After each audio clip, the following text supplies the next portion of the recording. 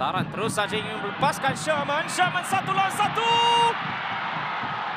Dan terus disumbat masuk oleh Stefano Brundo. Gantaan pada kelebihan. Sri Pahang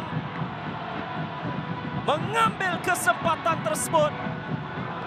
Dan Perak sekali lagi dibolosi dengan kepantasan.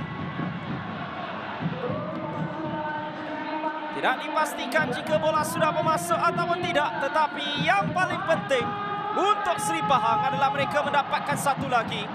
Sungkitan untuk melepasi Brian C.